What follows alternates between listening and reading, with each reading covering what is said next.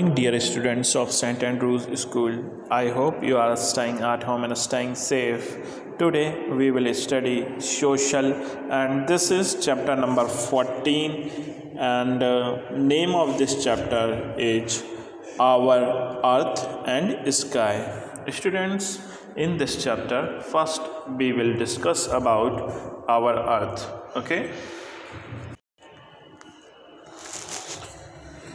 Students, you know very well we live on the earth. Okay, the earth is the home to all animals and plants. Students, earth is a planet and uh, it looks blue from the space. So, the earth is also called blue planet. Okay about 71% of the earth's surface is covered with water and the earth moves around the sun. It has a moon which revolves around it. Students the earth is round in shape. It looks like a ball humans and animals live on land. Plants and trees Plants and trees also grow on land. It gives us crops, trees, water, minerals, etc. Okay, students? Students, now we will discuss about plains. Students, the flat and even part of the earth is called plain most of the people live on land. Okay?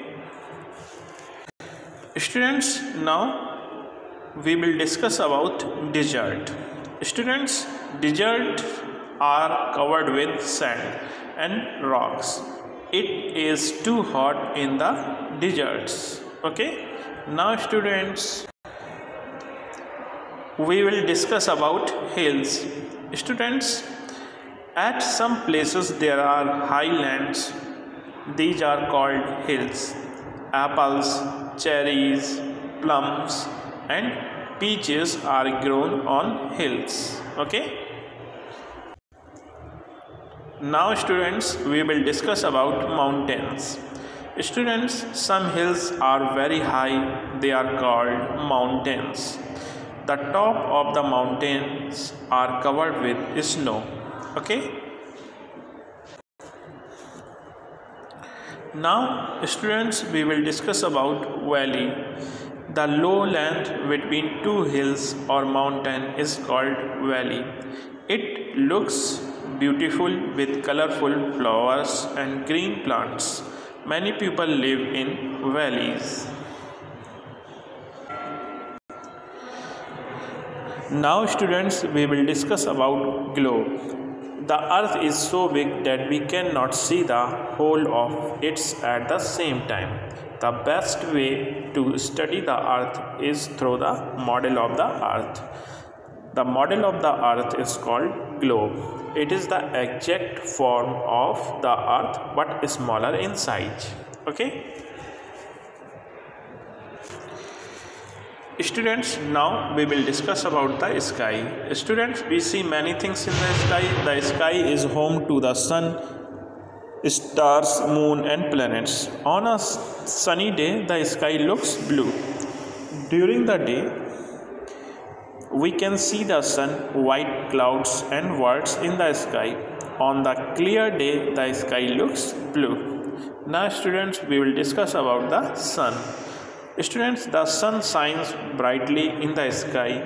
It gives us heat and light. Every morning, the sun rises in the east. In the evening, it sets in the west. When the sun sets, it becomes dark and night falls. Okay. Now, students, we will discuss about the moon at night, we see the moon in the sky. The moon is much smaller than the sun and the earth. It moves around the earth. The moon has no light of its own. It shines by the light it gets from the sun. Moonlight is cool. Do you know the moon changes its shape every night? Okay, students.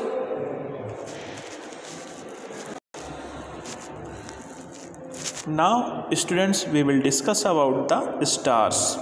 At night, millions of stars twinkle in the sky.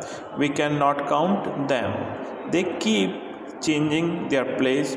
All stars are bright and hot like the sun, but they are far away, so they look very small. Thus, only a little part of their light reaches us. Students, read this chapter again in homework. Okay? and complete your work in social. Thank you and have a nice day.